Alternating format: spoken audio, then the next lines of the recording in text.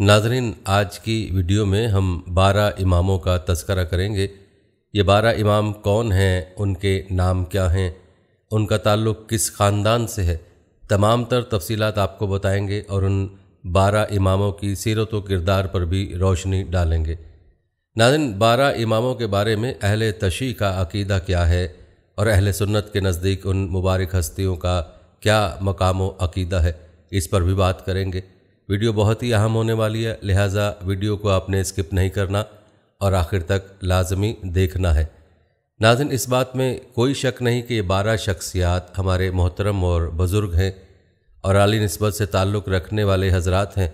उनका अदब व एहतराम करना हमारी ज़िम्मेदारी है और हर मुसलमान को चाहिए कि इन मुबारक हस्तियों की सीरत व किरदार से आगाह हो। नाजिन, सबसे पहले तो आपको उन मुबारक हस्तियों के नाम बताते हैं जिनको अहल तशी अपना इमाम मानते हैं। उन मुबारक हस्तियों के नाम बताने के बाद आपको हर शख्सियत के सीरत व किरदार के बारे में तफसीली बताएँगे। ये बारह नाम मुलाजा फरमाएँ। हज़रत अली रज़ी तैनो हज़रत हसन रज़ी तैनो हज़रत हुसैन रज़ी तैनो हज़रत ज़ैनआबदीन रहमुल्ला हज़रत मोहम्मद बाकर रहमुल्ला हज़रत जाफ़र सादिक रहमुल्ला हज़रत मूसा काजिम रहमुल्ला हज़रत अली रज़ा रहमुल्ला हज़रत मोहम्मद तकी रहमुल्ला हज़रत अली नकी रहमुल्ला हज़रत हसन अस्करी रहमुल्ला हज़रत मोहम्मद महदी रहमुल्ला नादरीन सबसे पहले तस्करा करते हैं हज़रत अली रज़ी तैन का। नादरीन हज़रत अली रज़ी तैन जो खुलफ़ा राशदीन में चौथे खलीफा हैं, उनकी शख्सियत किसी तारफ़ की मोहताज नहीं है। अलबत् मुख्तर अल्फाज में आपको उनकी ज़िंदगी के अहवाल बताते हैं नाजरन, आप रज़ी तैन का इसमें गरामी अली है और कुन्नीत अबुल हसन और अबू तुराब है और लकब हैदर है। आपके वालिद का नाम अबू तालिब है। आपकी पैदाइश तेरह रजब जुमा के दिन मक्का में हुई। कम सिनी में बाज़ वजह की बिना पर हुजूर सल्लल्लाहु वसल्लम की कफालत में आ गए और दरबार नबूत से आखिर तक जुड़े रहे। दस साल की उम्र में इस्लाम कबूल किया। खुद फरमाया करते थे कि मैंने बुतों की पूजा कभी नहीं की। और आ हज़रत वसल्लम के बाद मुझसे पहले किसी ने खुदा की इबादत नहीं की। इब्तदाई उम्र से ही हजूर से अजहद ज़्यादा मोहब्बत करते थे। जब कोहे सूफा पर चढ़कर हजूर ने ऐलान नबूत किया तो आपकी आवाज़ पर किसी ने भी कान नहीं धरा, मगर हज़रत अली रज़ी ने जो उस वक्त उम्र में सिर्फ़ पंद्रह साल के थे, कहा, गो कि मैं उम्र में छोटा हूँ और मुझे अशोब चश्म का आर्जा है और मेरी टांगें पतली हैं, तहम आपका बावर दस्त बाजू बनूँगा।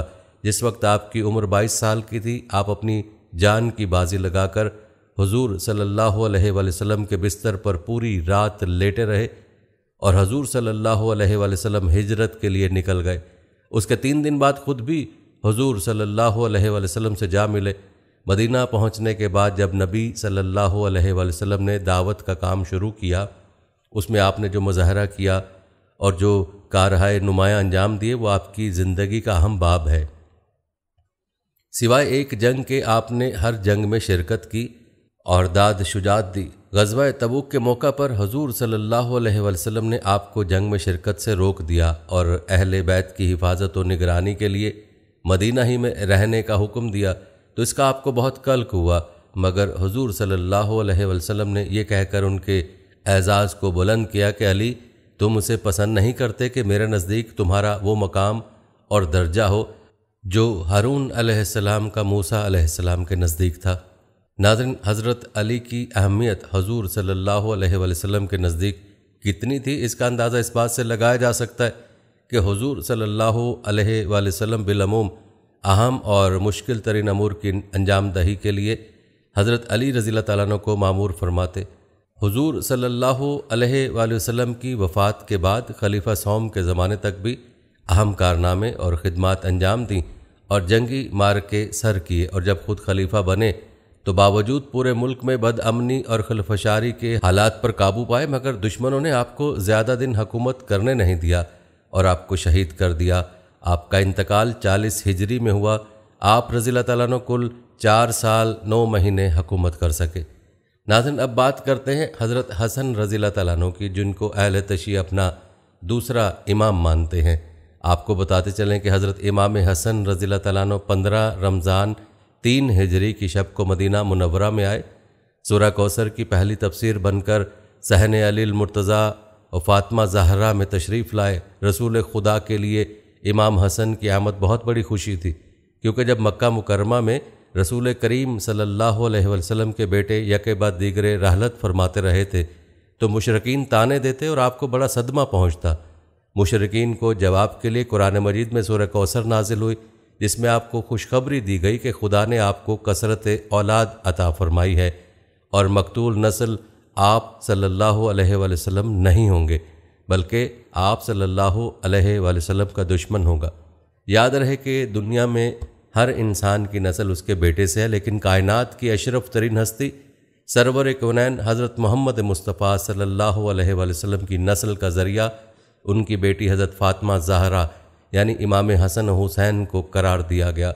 और यही वजह कि जब भी अहल बैत का तस्करा आता है तो सर फहरिस्त ख़ानदान फ़ातमी का ज़िक्र होता है। इसी हवाले से हज़रत उमर इबन ख़त्ताब और हज़रत जाबिर इबन अब्दुल्ला अंसारी रज़ील तु रिवायत करते हैं कि रसूलुल्लाह सल्लल्लाहु अलैहि वसल्लम ने फरमाया, हर औरत की औलाद का नसब उसके बाप की तरफ़ होता है, सिवाय औलाद फ़ातिमा के। मैं ही उनका नसब हूँ और मैं ही उनका बाप हूँ। हज़रत उमर रज़ी तला से यह भी रिवायत है कि रसूलुल्लाह सल्लल्लाहु अलैहि वसल्लम ने फरमाया कि क़यामत के दिन हर नसब मुनक़ हो जाएगा सिवाय मेरे नसब और रिश्ते के, यानी सिवाय औलाद फ़ातिमा के। नाजरन, याद रहे कि नसारी नजरान के साथ मुबाहला के लिए भी रसूल खुदा इमाम हसन हुसैन को अपने फ़र्जंदान के तौर पर साथ लेकर गए थे, जिस पर कुरान की आयत भी गवाह है। बहारुल अनवर में है कि जब इमाम हसन रज़ी तैन सरवर कायनात की खिदमत में लाए गए तो आ हज़रत सल्लल्लाहु अलैहि ने नौजायदा बच्चे को आगोश में लेकर प्यार किया और दाहने कान में अजान और बाएँ कान में अकामत फरमाने के बाद अपनी ज़ुबान उनके मुँह में दे दी। इमाम हसन रज़ी तु से चूसने लगे। उसके बाद आपने दुआ की, खुदाया, इसको और इसकी औलाद को अपनी पनाह में रखना। विलादत के सातवें दिन सरकार कायनात ने खुद अपने दस्ते मुबारक से अकीका फरमाया और बालों को मुंडवाकर उसके हम वज़न, चांदी, सदका की। उसके बाद आ हज़रत सल्लल्लाहु अलैहि वसल्लम ने हज़रत अली रज़ी तु से पूछा, आपने इस बच्चे का कोई नाम भी रखा? अमीरुल मोमिनीन ने अर्ज़ की, आप सल्लल्लाहु अलैहि वसल्लम पर सबकत मैं कैसे कर सकता था? पैगंबर सल्लल्लाहु अलैहि वसल्लम ने फरमाया, मैं भी खुदा पर कैसे सबकत कर सकता हूँ? चंद ही लम्हों के बाद जबरील पैगंबर की खिदमत में वही लेकर आ गए और कहा, खुदावंद आलम इरशाद फरमाता है कि इस बच्चे का नाम हसन रखिए। नाजरीन, माहरीन इल्मसाब बयान करते हैं, खुदावंद आलम ने खातून जन्नत हज़रत फ़ातमा जहरा रज़ी तु के दोनों शाहजादों का नाम अनजार आलम से पोशीदा रखा था। यानी उनसे पहले हसन हुसैन नाम से कोई मौसूम ना हुआ था। नादिर नबी करीम सल्लल्लाहु अलैहि वसल्लम के नवासों से मोहब्बत और अल्लाह के नज़दीक मुकाम का अंदाज़ा इस हदीस मुबारक से लगाया जा सकता है। रिवायत है कि रसूल करीम सल्लल्लाहु अलैहि वसल्लम नमाज़ इशा अदा करने के लिए बाहर तशरीफ़ लाए और आप सल्लल्लाहु अलैहि वसल्लम उस वक्त हज़रत इमाम हसन और इमाम हुसैन को गोद में उठाए हुए थे। आप सल्लल्लाहु अलैहि वसल्लम आगे बढ़े और उनको ज़मीन पर बिठलाया। फिर नमाज़ के वास्ते तकबीर फरमाई। आपने नमाज़ के दरमियान एक सजदे में ताख़ीर फरमाई तो मैंने सर उठाया तो देखा कि साहबजादे, यानी रसूल करीम सल्लल्लाहु अलैहि वसल्लम के नवासे, आप सल्लल्लाहु अलैहि वसल्लम की पुश्त मुबारक पर हैं और उस वक्त आप सल्लल्लाहु अलैहि वसल्लम हालत सजदा में हैं। फिर मैं सजदे में चला गया। जिस वक्त आप सल्लल्लाहु अलैहि वसल्लम नमाज़ से फारिग हो गए तो लोगों ने अर्ज़ किया कि, या रसूलल्लाह आपने नमाज़ के दौरान एक सजदा अदा फरमाने में ताख़ीर क्यों फरमाई? आप सल्लल्लाहु अलैहि वसल्लम ने फरमाया, ऐसी कोई बात न थी, मेरे नवासे मुझ पर सवार हुए तो मुझको बुरा महसूस हुआ कि मैं जल्दी उठ खड़ा हूँ और उनकी मुराद, यानी खेलने की ख्वाहिश मुकम्मल ना हो।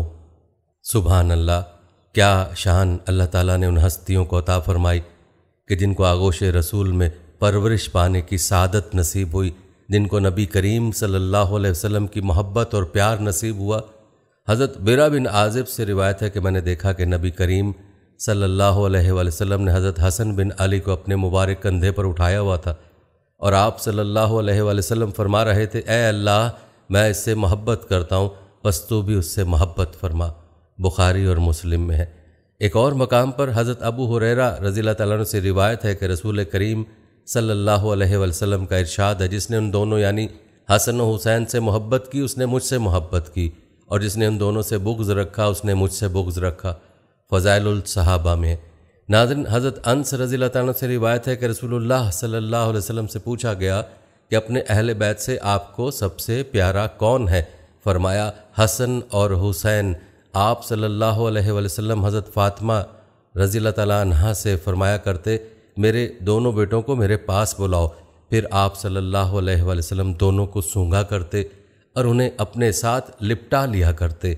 हज़रत इब्न उमर रज़ी तन से रिवायत है कि हजूर अक्रम सल्लल्लाहु ने फरमाया, हसन और हुसैन दोनों दुनिया में मेरे दो फूल हैं। नाजरीन सैदा फ़ातिमा रज़ी तला से रिवायत है कि वह हज़रत हसन और हज़रत हुसैन को रसूल करीम सल्लल्लाहु अलैहि वसल्लम के मर्जुल विसाल के दौरान आपकी खिदमत में लाई और अर्ज़ की, या रसूलुल्लाह, इन्हें अपनी वरासत में से कुछ अता फ़रमाएँ।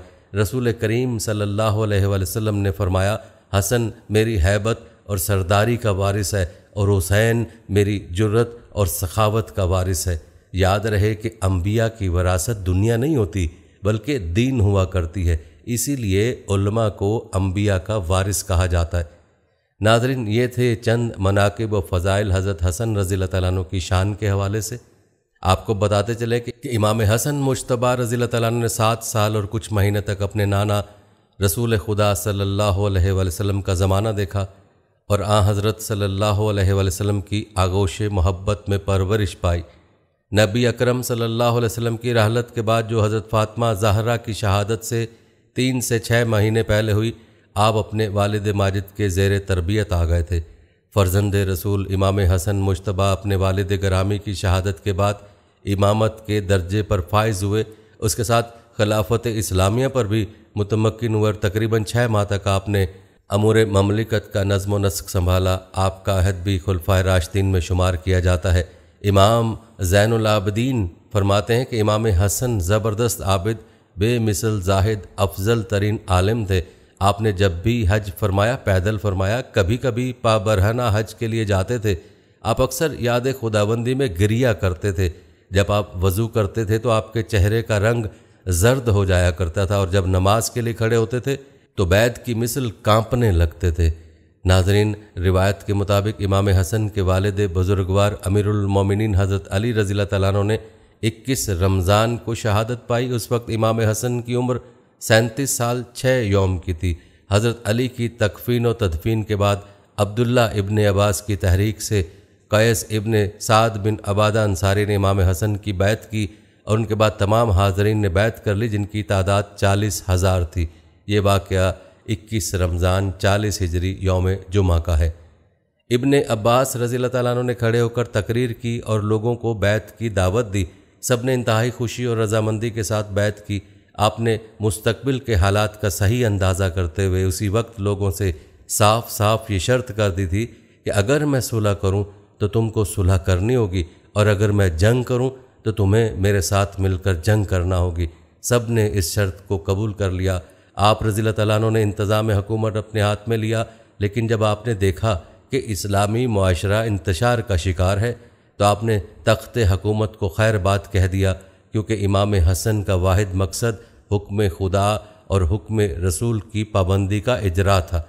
इमाम हसन रज़ी तैन ने दीन खुदा की सर बुलंदी फितन फसाद का सर कुचलने, किताब खुदा और सुन्नत रसूल पर अमल दरामद को यकीनी बनाने के लिए तख्त हकूमत को ठोकर मारकर जो तारीखी सुलह की, वो इस्लाम की तारीख का ऐसा नाकबिल फरामोश बाब है जिसकी नज़ीर नहीं मिलती। इमाम हसन अगरचे सुलह के बाद मदीना में गोशा नशीन हो गए थे लेकिन हक के मरकज़ और तालीमत मोहम्मदी सल्ला वसम के सरचश्मा इमाम हसन का कायम रहना दुश्मनान दीन को कब गवारा था, इसीलिए जादा बिनते अशहस को इनाम वकराम का लालच देकर नवास रसूल इमाम हसन को जहर देकर शहीद कर दिया गया। नादिन रसूल के प्यारे नवास इमाम हसन रज़ी तु ने 28 सफ़र 50 हिजरी को जाम शहादत नोश किया और जन्नतुलबकी में मदफून हुए। नाजरीन, ये था तस्करा हज़रत हसन रज़ी तु का। अब तस्करा करते हैं हज़रत हुसैन रज़ी तु का, जिनको अहल तशी अपना तीसरा इमाम मानते हैं। याद रहे कि हज़रत हुसैन रज़ी तु हज़रत हसन रज़ी तु के छोटे भाई हैं। पाँच शाबान सन चार हिजरी में मदीना मुनवरा में पैदा हुए। आपकी कुन्नीत अबू अब्दुल्ला है। हज़रत हुसैन रज़ील तु के बेशुमार कमालत व फ़ज़ाइल हैं। इससे बढ़कर क्या फजीलत हो सकती है? कि रसूलुल्लाह सल्लल्लाहु अलैहि वसल्लम ने फरमाया कि हुसैन मुझसे है और मैं हुसैन से हूँ और जो हुसैन से मोहब्बत रखे, उससे अल्लाह मोहब्बत रखे। नाजरीन, याद रहे कि हज़रत हुसैन ने बचपन में अपने नाना हजूर अक्रम सल्लल्लाहु से बेपनाह, शफ़क़त व मोहब्बत को समेटा और सैदना हज़रत अलीमरतज़ा रज़ी तैनो और सैदा फ़ातमत ज़ाहरा की आगोश मोहब्बत में तरबियत व परवरिश पाई, जिसकी वजह से आप फ़ज़ल कमाल, जहद तकवा, शुजात बहादरी, सखावत, रहम दिली, आला अखलाक और दीगर महासन खूबियों के बुलंद दर्जे पर फाइज थे। आपके वालिद माजिद अमीरमिन सैदना हज़रत अली रज़ी तैन फरमाते हैं कि सैदना हज़रत हसन रज़ी तैन सीने से लेकर सर मुबारक तक रसूलुल्लाह सल्लल्लाहु अलैहि वसल्लम के मुशाबह थे और सैदना हज़रत हुसैन कदमों से लेकर सीने तक रसूलुल्लाह सल्लल्लाहु अलैहि वसल्लम के मुशाबह थे और आपके हुस्न जमाल की अक्सी करते थे। इसी मुशाबत रसूलुल्लाह सल्लल्लाहु अलैहि वसल्लम का असर फ़कत जिस्म के ज़ाहरी आज़ाता की महदूद न था, बल्कि रूहानी तौर पर भी इसके गहरे असरात थे। आप नबी सल्लल्लाहु अलैहि वसल्लम के आला उमदा वसाफ़ का कामिल मजहर थे। आप रज़ी तु के मकाम का इससे अंदाज़ा लगाया जा सकता है कि आप सल्लल्लाहु अलैहि वसल्लम ने फरमाया कि हसन और हुसैन जन्नती नौजवानों के सरदार हैं, तिरमज़िम हैं। नाजरन, जनाब मोहम्मद रसूलुल्लाह को अपने लाडल हुसैन से बेपनाह मोहब्बत थी। आप हज़रत हुसैन को गोद में उठाए, सीना मुबारक से लगाते, कांधे मुबारक पर उठाते, कमर मुबारक पर बिठा कर फिराते, नमाज़ में, सजदे की हालत में अगर हज़रत हुसैन आपकी पीठ मुबारक पर सवार हो जाते तो ना उन्हें कभी डांटते, ना नाराज़गी का इजहार फरमाते, बल्कि सजदे को तूल कर दिया करते। यहाँ तक कि बच्चा खुद से बखुशी पुश्त पर से अलहदा हो जाता। आप सल्लल्लाहु अलैहि वसल्लम का मामूल ये था कि कभी हज़रत हुसैन के होंठों को बोसा देते तो कभी रुखसार को चूमते। आपका अपने नवासों से मोहब्बत का अंदाज़ा इससे लगाया जा सकता है कि आप सल्लल्लाहु अलैहि वसल्लम ने फरमाया, जिसने हसन और हुसैन रज़ी तमा से मोहब्बत की, उसने मुझसे मोहब्बत की, और जिसने उनसे बुग्ज़ रखा, उसने मुझसे बुग्ज़ रखा। और नाजरीन हज़रत हुसैन की शान का अंदाज़ा इससे लगाया जा सकता है कि एक दफ़ा जनाब मोहम्मद रसूलुल्लाह हज़रत हुसैन को अपने कंधे मुबारक पर उठाए हुए थे कि एक सहाबी मंज़र देख कर बोले ए बच्चे, तुम कितनी बेहतरीन सवारी पर सवार हो। रसूल अल्लाह सल्लल्लाहु अलैहि वसल्लम ने जवाब फरमाया, सवार भी तो कितना बेहतरीन है। तिरमजी शरीफ में नाजरीन रिवायत बताते हैं कि नवास रसूल हज़रत सैदना हुसैन रज़ी तु इसमत व तहारत का मुजस्मा थे। आपकी इबादत, जाहत, सखावत और आपके कमाल अखलाक के दोस्त व दुश्मन सभी कायल थे।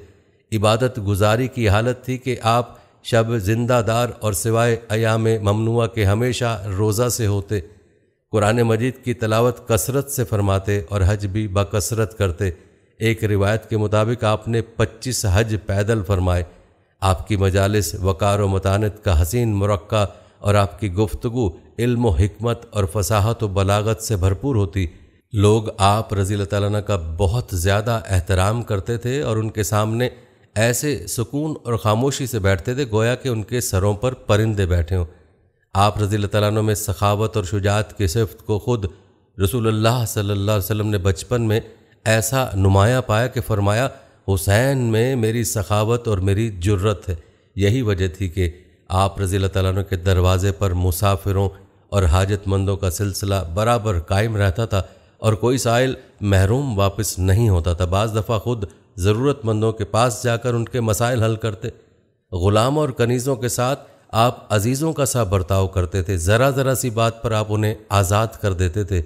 आपके इलमी कमलात के सामने दुनिया का सर झुका हुआ था। मजहबी मसाइल और अहम मुश्किल में आप रज़ी तु की तरफ़ रजू किया जाता था।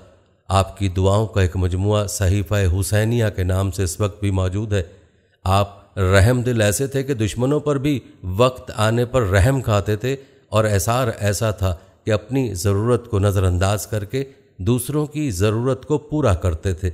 नाजरीन, हज़रत इमाम हुसैन रज़ी तन से रिवायत है कि हजूर अक्रम अलैहि वसल्लम ने फरमाया, जिसे पसंद हो कि किसी जन्नती जवानों के सरदार को देखे तो वो हुसैन बिन अली रजील तैन को देखे। नाजरीन, जब भी इमाम हुसैन रजील तैन की शहादत का तस्करा होता है तो आप रजील तैन की शहादत की दास्तान दिलो दिमाग में ताज़ा हो जाती है। आपने हज़रत इमाम हुसैन रजील तैन के बचपन और उनके फ़ज़ाइल व मनाक़त के हवाले से फ़ज़ाइल मुलाजा किए, अब कुछ तस्करा करते हैं। आप रजील तैन की शहादत का, जो कि आप रजील तैन के किरदार और औसाफ के सही मानों में अक्कासी करती है। नाजिन रिवायत बताते हैं कि सैदुलशाहदा हज़रत इमाम हुसैन रज़ी तैन की पैदाइश के साथ ही आपकी शहादत भी शहरत आम हो गई। हज़रत अली, हज़रत फ़ातमत जहरा और दीगर साहबा, कबार अहल बैत के जानसार सभी लोग आपके ज़माना शीर खारगी में जान गए कि ये फ़र्जंद अर्जमंद जुल्म सितम के हाथों शहीद किया जाएगा। और उनका खून नहायत बेदर्दी के साथ ज़मीन करबला में बहाया जाएगा। इसकी वजह यह थी कि नबी करीम सल्लल्लाहु अलैहि वसल्लम ने इस बात की पेश गोई, अपनी ज़ुबान मुबारक से फरमा दी थी और कई अहादीस इस हवाले से मनकूल हैं जो आपकी शहादत के बारे में हैं। चंद रिवायात मुलहसा फरमाएँ, हज़रत उम्मुल फ़ज़ल बिनत हारिस रज़ीला नहा यानी हज़रत अब्बास रज़ी तु की जौजा फरमाती हैं कि मैंने एक रोज़ हजूर सल्लल्लाहु की खिदमत मुबारक में हाजिर होकर हज़रत इमाम हुसैन रज़ी तैन को आप अलैहि वसल्लम की गोद में दिया। फिर मैं क्या देखती हूँ कि हजूर सल्लल्लाहु की मुबारक आँखों से लगातार आँसू बह रहे हैं। मैंने अर्ज़ किया, या रसूल अल्लाह मेरे माँ बाप आप पर कुर्बान हो। ये क्या हाल है? फरमाया, मेरे पास हज़रत जब्राइल रहमुल्ला आए और उन्होंने खबर पहुँचाई कि मेरी उम्मत मेरे इस फर्जंद को शहीद करेगी। हज़रत उम्मुल फ़ज़ल रज़ी तला फरमाती कि मैंने अर्ज़ किया, या रसूल अल्लाह सल्लल्लाहु अलैहि वसल्लम, क्या इस फर्जंद को शहीद करेगी? हजूर सल्लल्लाहु अलैहि वसल्लम ने फरमाया हाँ। फिर हज़रत जब्राइल अलैहिस्सलाम मेरे पास इसकी शहादत गाह की सुर्ख मट्टी भी लाए। मशकात शरीफ में है। नाजिन, हज़रत अंस रज़ी तन से एक रिवायत मनकूल है। कि बारिश के फरिश्ते ने रसूलुल्लाह सल्लल्लाहु अलैहि वसल्लम की खिदमत में हाज़िरी देने के लिए अल्लाह से इजाज़त तलब की। जब वह फ़रिश्ता इजाज़त मिलने पर बारगाह नबूत में हाजिर हुआ तो उस वक्त हज़रत हुसैन रज़ी तु आए और हजूर सल्लल्लाहु अलैहि वसल्लम की गोद में बैठ गए। तो आप उनको चूमने और प्यार करने लगे। फ़रिश्ते ने अर्ज़ किया, या रसूल अल्लाह सल्लल्लाहु अलैहि वसल्लम, क्या आप हुसैन से प्यार करते हैं? हजूर वसल्लम ने फरमाया हाँ उसने कहा, आपकी उम्मत हुसैन को कत्ल कर देगी। अगर आप चाहें तो मैं उनकी कत्ल गाह की मट्टी आपको दिखा दूँ। फिर वो फरिश्ता सुर्ख मट्टी लाया, जिसे उम्मुल मोमिनिन उम सलमा रज़ीला नहा ने अपने कपड़े में ले लिया। इसी तरह की एक रिवायत में है कि हजूर सल्लल्लाहु अलैहि वसल्लम ने फरमाया, ए उम सलमा, जब ये मट्टी खून बन जाए तो समझ लेना कि मेरा बेटा हुसैन शहीद कर दिया गया। हज़रत उम सलमा रज़ीला नहा फरमाती हैं कि मैंने इस मट्टी को एक शीशी में बंद कर लिया, जो हज़रत हुसैन रज़ी तु की शहादत के दिन खून हो गई।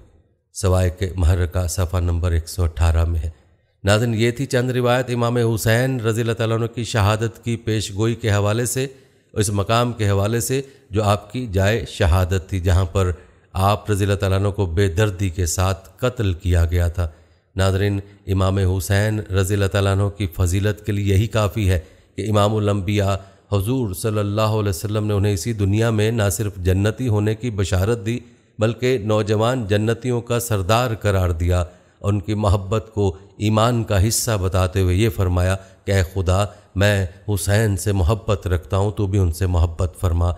और जो कोई हसन हुसैन से मोहब्बत रखे, उनसे तू भी मोहब्बत फरमा।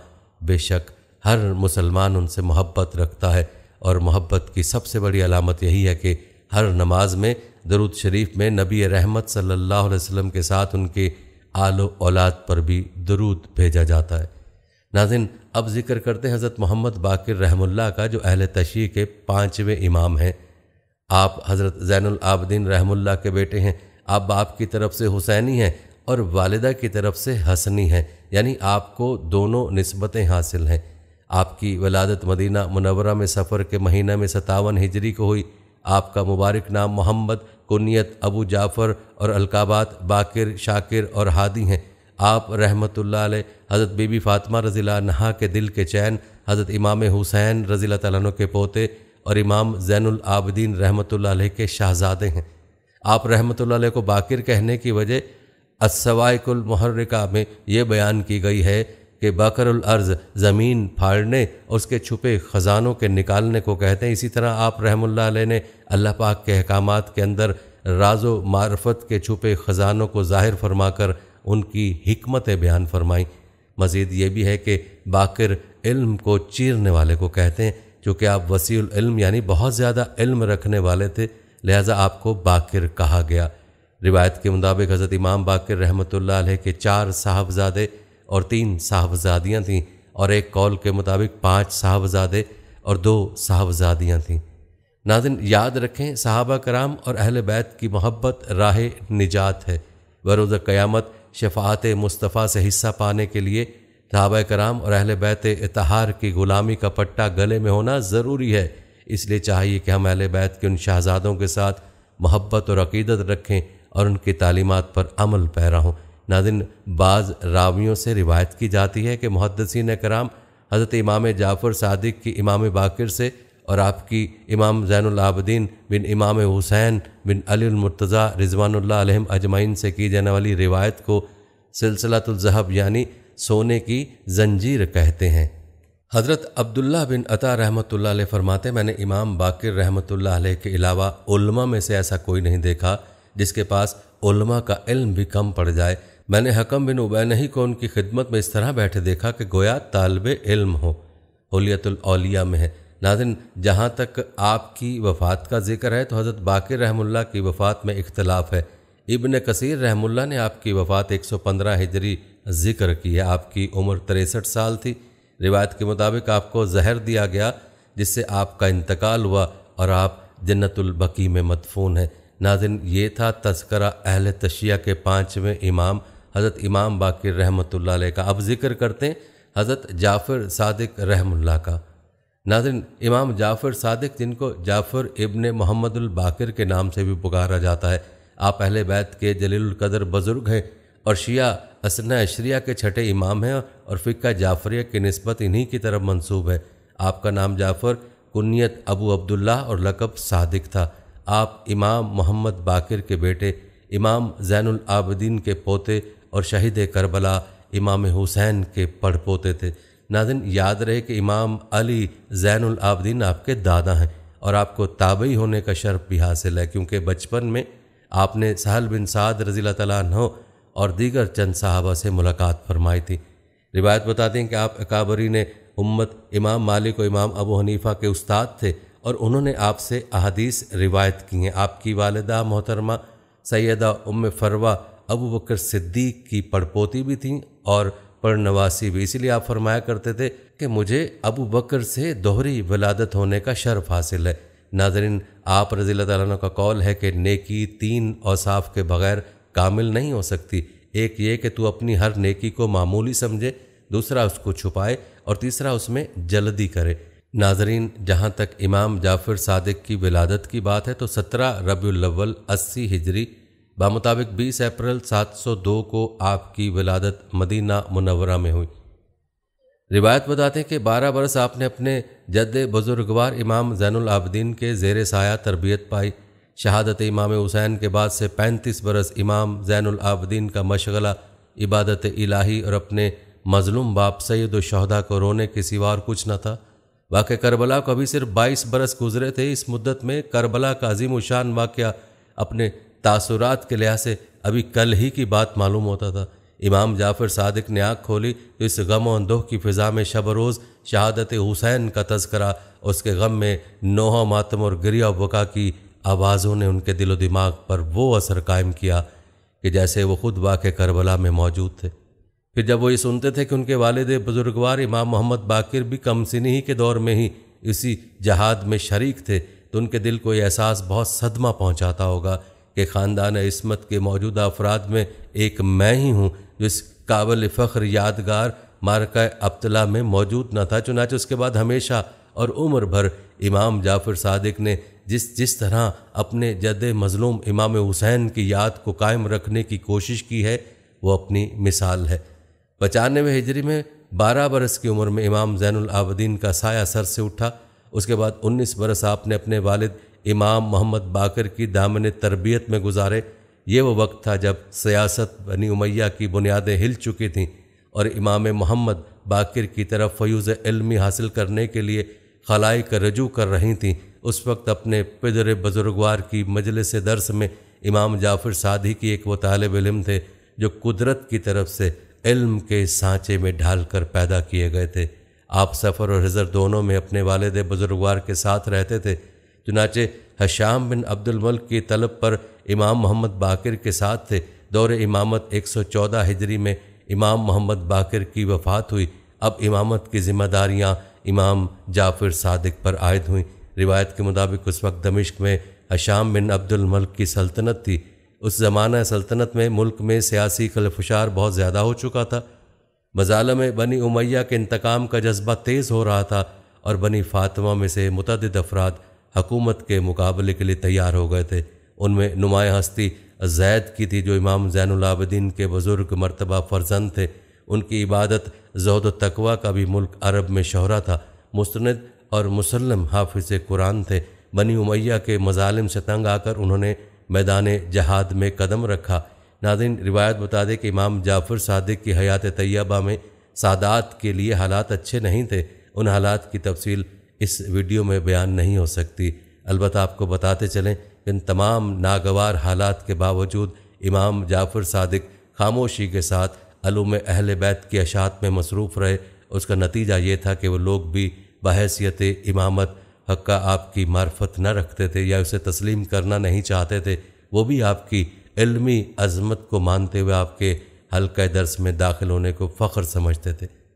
रिवायत में आता है कि मंसूर ने पहले हज़रत की इलमी अजमत का असर अवाम के दिल से कम करने के लिए एक तदबीर ये की कि आपके मुकाबले में ऐसे अशखास को बहसत फ़कीह और आलिम के खड़ा कर दिया जो आपके शागिर्दों के सामने भी ज़ुबान खोलने की कुदरत न रखते थे।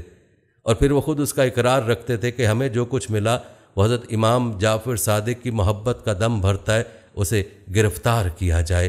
चनाचे मल्ला इबन खनीस इन्हीं शियों में से थे जो गिरफ़्तार किए गए और जुल्म सितम के साथ शहीद किए गए। खुद हज़रत इमाम जाफ़िर सादिक रहमुल्ला को तकरीबन पाँच मरतबा मदीना से दरबार शाही में तलब किया गया, जो आपके लिए सख्त रूहानी तकलीफ़ का बायस था। ये और बात है कि किसी बार भी आपके खिलाफ कोई बहाना उसे ऐसा न मिल सका कि आपके कैद या कत्ल किए जाने का हुक्म देता, बल्कि इस सिलसिले में इराक़ के अंदर एक मुद्दत के क़्याम से अलूम अहल बैत रहमुल्ला के इशात का हल्का वसी हुआ। उसको महसूस करके मंसूर ने फिर आपको मदीना भिजवा दिया। उसके बाद भी आप ईज़ा रसानी से महफूज नहीं रहे। यहाँ तक कि एक मरतबा आपके घर में आग लगा दी गई। कुदरत खुदा थी कि वह आग जल्द फुरू हो गई और आपके मुतलकिन और असाब को कोई सदमा नहीं पहुँचा। नादिन आपके आला अखलाक के हवाले से एक वाक़ मनकूल है। कहते हैं कि मरतबा एक हाजी मदीना में वारिद हुआ। और मस्जिद रसूल में सो के आँख खोली तो उसे शुबा हुआ कि उसकी एक हज़ार की थैली मौजूद नहीं। उसने इधर उधर देखा, किसी को न पाया। एक गोशाए मस्जिद में इमाम जाफ़िर सादिक रहमुल्ला नमाज़ पढ़ रहे थे। वह आपको बिल्कुल ना पहचानता था। आपके पास आकर कहने लगा कि मेरी थैली तुमने ली है। आपने फरमाया, उसमें क्या था? उसने कहा, एक हज़ार दिनार। आपने फरमाया, मेरे साथ मेरे मकान तक आओ। वह आपके साथ हो गया। बैतुशरफ पर तशरीफ़ लाकर एक हज़ार दिनार उसके हवाले कर दिए। वो मस्जिद में वापस आया और अपना इसबाब उठाने लगा तो ख़ुद उसकी दिनारों की थैली इसबाब में नज़र आई। ये देखकर बहुत शर्मिंदा हुआ और दौड़ता हुआ फिर इमाम की खिदमत में आया और गलत ख्वाही करते हुए वो हज़ार दिनार वापस करना चाहे, मगर आपने फरमाया, हम जो कुछ दे देते हैं, वो फिर वापस नहीं लेते। नाजिन, मौजूदा ज़माने में हालात सभी की आँखों के देखे हुए हैं कि जब ये अंदेशा पैदा होता है कि अनाज मुश्किल से मिलेगा तो जिसको जितना मुमकिन हो वो अनाज ख़रीद कर रख लेता है। मगर इमाम जाफ़र सादिक के किरदार का एक वाक़ है कि एक मरतबा आपने अपने वकील महतब से इरशाद फरमाया कि गल्ला रोज़ बरोज़ मदीना में गरा होता जा रहा है। हमारे यहाँ किस कदर गल्ला होगा? मोतिब ने कहा कि हमें इस गरानी और कहत की तकलीफ़ का कोई अंदेशा नहीं है। हमारे पास गले का इतना ज़ख़ीरा है कि जो बहुत अरसे तक काफ़ी होगा। आपने फरमाया, तमाम गल्ला फ़रोख्त कर डालो। उसके बाद जो हाल सबका हो वो हमारा भी हो। जब गल्ला फ़रोख्त कर दिया गया तो फरमाया, अब खालिश गेहूँ की रोटी ना पकाया करो, बल्कि आधे गेहूँ और आधे जो जहाँ तक मुमकिन हो, हमें गरीबों का साथ देना चाहिए। रिवायत बताती हैं कि आपका कायदा था कि आप मालदारों से ज़्यादा गरीबों की इज़्ज़त करते थे, मज़दूरों की बड़ी कदर फरमाते थे, खुद भी तिजारत फरमाते थे और अक्सर अपने बागों में ब नफ्स नफीस मेहनत भी करते थे। एक मरतबा आप बेलचा हाथ में लिए बाग में काम कर रहे थे और पसीने से तमाम जिस्म तर हो गया। किसी ने कहा यह बेलचा मुझे इनायत फरमाई कि मैं खिदमत अंजाम दूँ। आपने फरमाया, तलब मुआश में धूप और गर्मी की तकलीफ़ सहना ऐब की बात नहीं। नाजरीन, याद रखें, हज़रत इमाम जाफ़र उस खानवाद इल्म अमल के चश्मो चराग थे, जिसके अदना अदना खुदाम मसंद इल्म के वारिस हुए। आपके वालद इमाम बाकर इस पाए के आलम थे। कि इमाम आज़म अबू हनीफ़ा अलनमान जैसे अकाबर उम्मत उनके शागिर्द थे, इसलिए जाफ़र सादिक को इल्म गोया विरासत में मिला था। फजल कमाल के लिहाज से आप अपने वक्त के इमाम थे। हाफिज़ इमाम जहबी आपको इमाम और अहदसादात अलाम लिखते हैं। अहल बैत कराम में इल्म में कोई आपका हमसर न था। इबन हबान का बयान है कि फ़िका, इल्म और फजल में सादात अहल बैत में थे। इमाम नोबी लिखते हैं कि आपकी अमामत जलालत और सयादत पर सबका इत्तफाक है। नाजरीन, याद रखें, इन्फाक फ़ी सबील्ला और फ़याजी सरचश्मी अहल बैत कराम का इम्तियाज़ी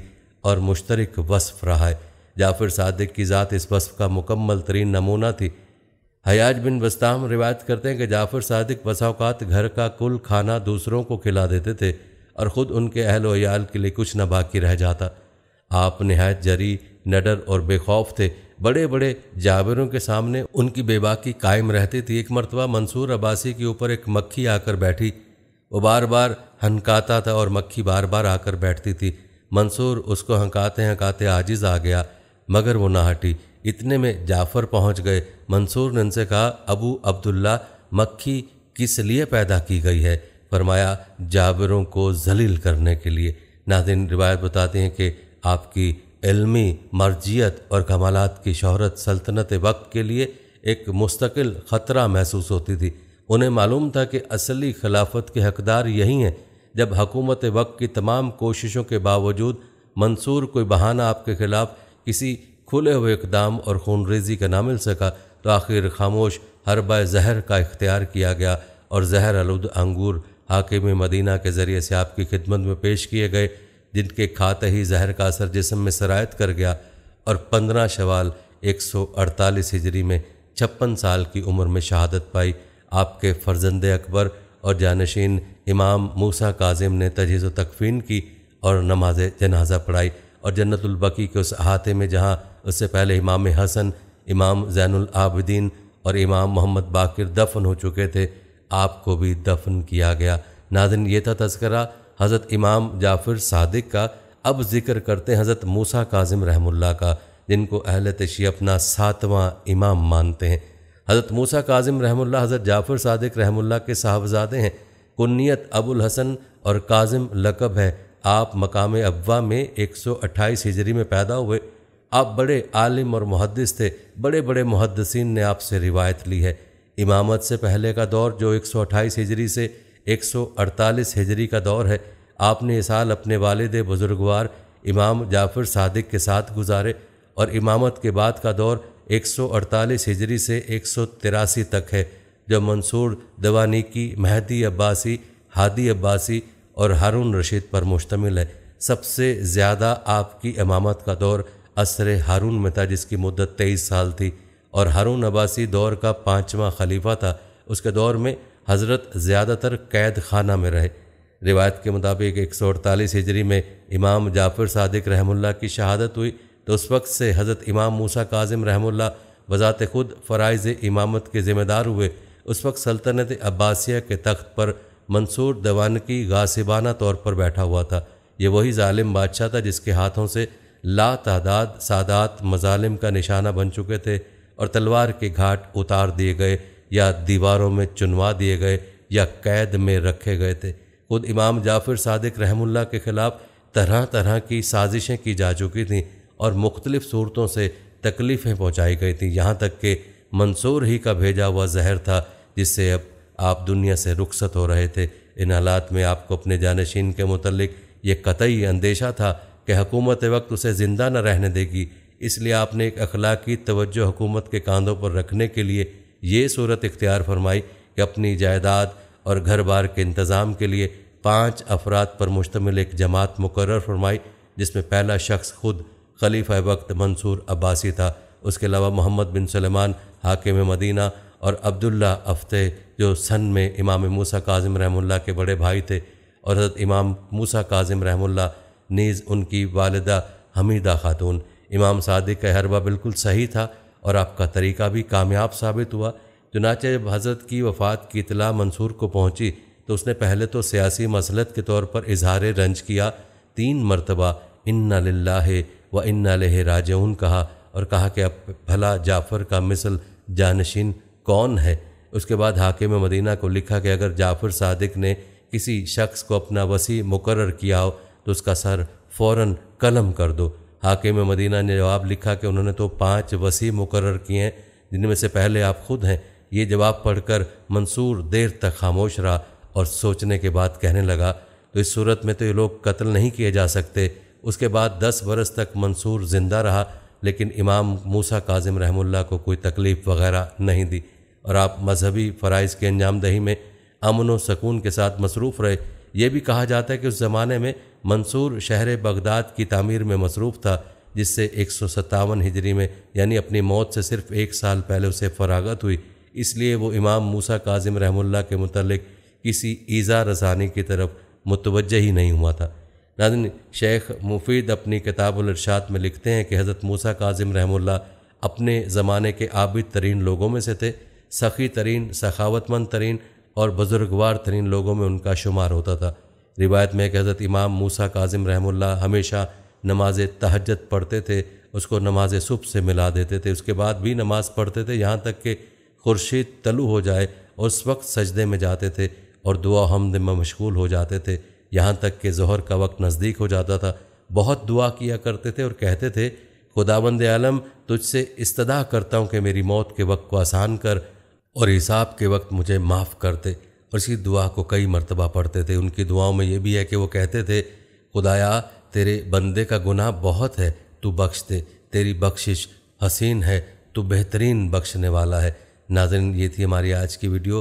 कमेंट सेक्शन में अपनी राय का इजहार ज़रूर करें और बताएँ कि आप अगली वीडियो कौन से इस्लामिक टॉपिक पर देखना चाहते हैं। आपकी कीमती राय हमारे लिए बहुत अहमियत रखती है और जाने से पहले वीडियो को शेयर ज़रूर कीजिएगा। अल्लाह ताला